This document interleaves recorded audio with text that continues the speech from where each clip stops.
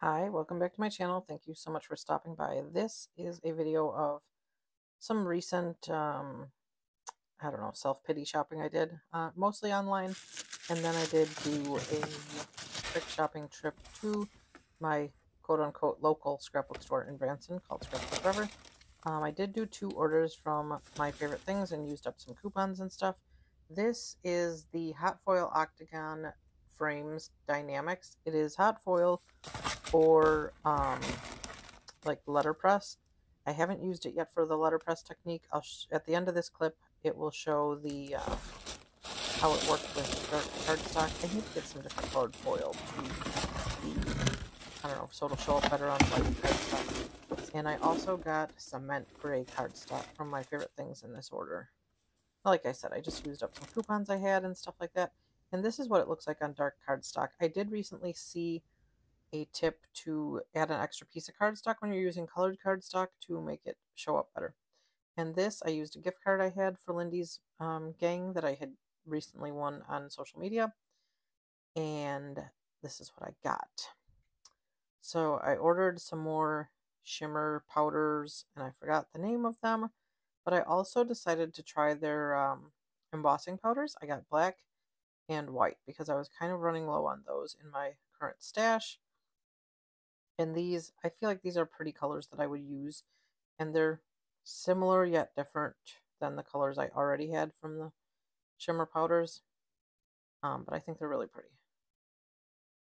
It's called Summer Break. Is that what that collection is called? And this was a freebie they gave me. This is embossing powder, that teal embossing powder.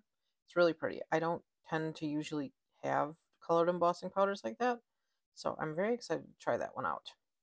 Um, I did actually use the black in the card, the um, card that I show later on in this video. The uh, disco ball card. Here is the second order that I got from my favorite things. This one has a few more items in it.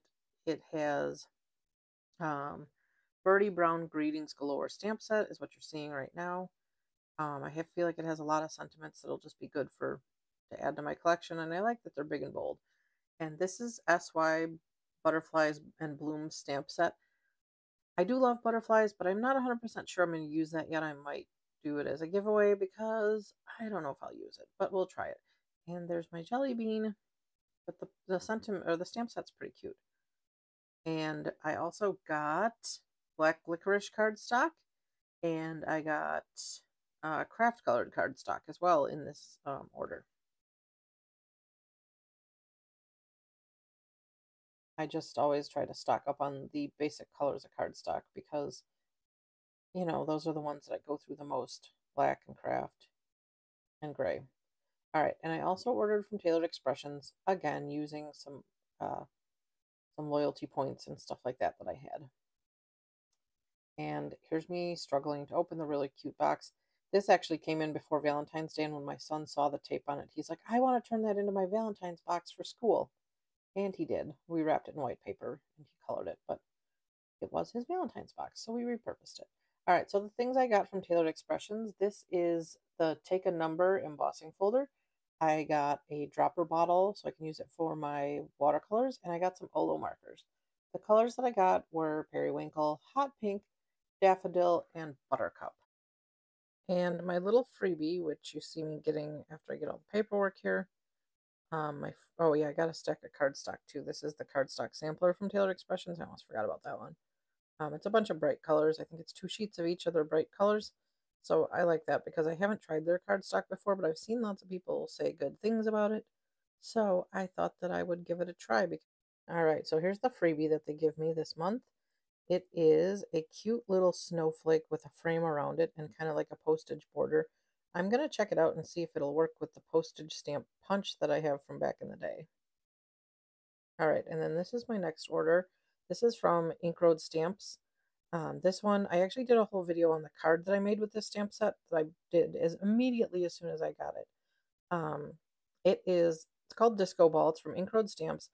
And Lara, the creator of Ink Road Stamps, is actually donating the proceeds from this um, stamp set to local domestic violence assistance programs.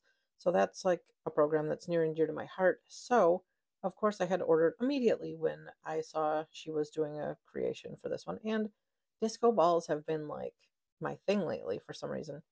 So here's the card that I made, and I will leave a link to the video that I made for when I did this whole card in the up above, so you can watch the video if you'd like. And these pictures just honestly don't do it justice. It's amazing. So go check it out. And last but not least, I got to go to my local ish, not really local, but it's in Branson, Missouri. It's called Scrapbooks Forever. I know I've featured it in previous haul videos because I pretty much have told my husband that we have to go there every time we go to Branson. Um, I ended up getting some gold Nuvo drops because I didn't have any gold Nuvo drops and I just wanted to see how they worked. This little cute um, Spellbinders um, die set was not on my list, but I saw it and it was really cute. And the little eyeballs are so cute.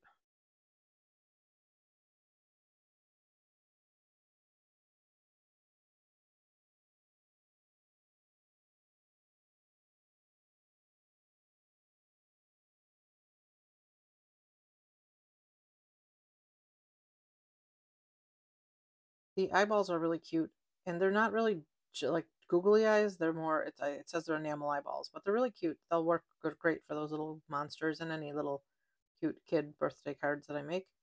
Because I do have two little kids of my own, and they're always getting invited to birthday parties.